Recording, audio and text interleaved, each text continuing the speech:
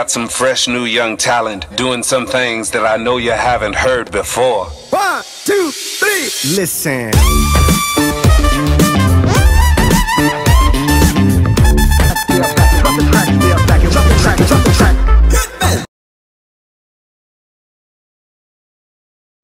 Hey, what's going on guys? So today I brought along with me the uh, Minolta XM 35 millimeter.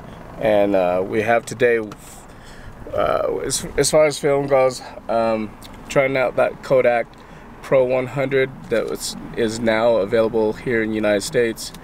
Um, supposed to act like Ektar 100 so with that said let's find our first image to shoot right? I have 36 frames so let's do this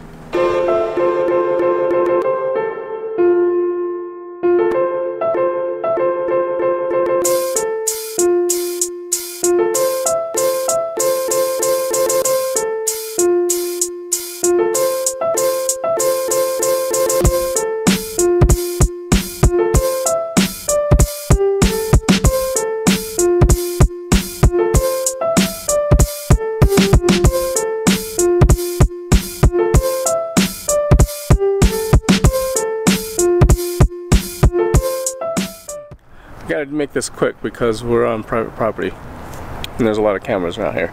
But uh, look behind me here. It's pretty interesting. For minimal, minimal, minimalism. That's a hard word to say. Um, yeah, I'm just, just driving around looking for things that look good uh, right here this wall with the tree is amazing.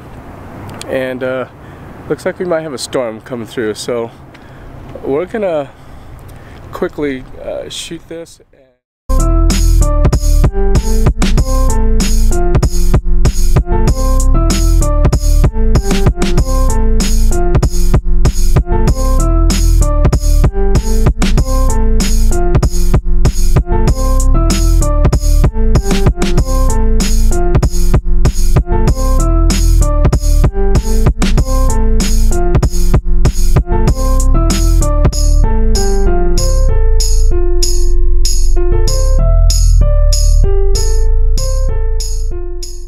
but uh, I've got some other locations that I think I uh, remember seeing and wanting to shoot but just haven't done it for a while. Um, a lot of these homes right or a lot of these photos that I'm shooting right now are uh, minimalist ideas as well as um, you know uh, homes like interesting homes that I find interesting right? Like with uh, more vintage look.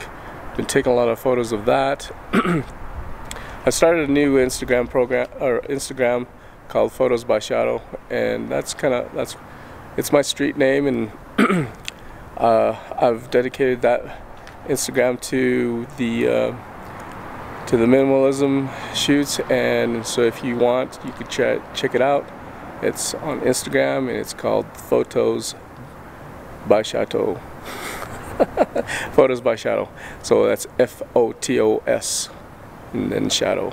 All right, so let's move on to the next location and uh, see what we can come up with.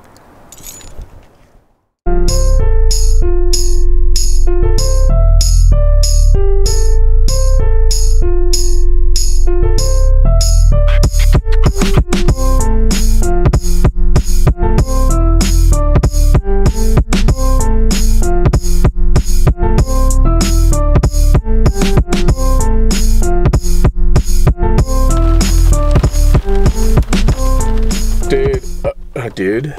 Guys, so just finished the uh, Pro 100, Pro 100, and luckily for me, because it just rained at my last location here.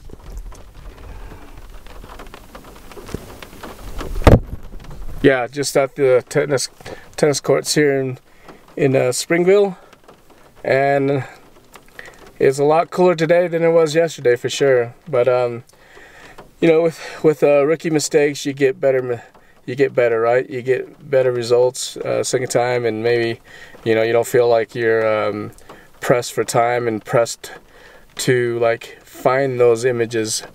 Um, so maybe second time around, uh, doing that uh, allows you to like know where your sh shots are, know how to compose it better, and just just overall better results from it, right? So hopefully this will be a lesson to everyone to check their camera bodies to make sure that they have film unlike myself so but luckily for me the second day it was easy you know like I just went did the shoot and didn't have to worry about recording and videoing you know all this stuff right so uh, maybe that was a plus. Anyways babbling on we'll see you next time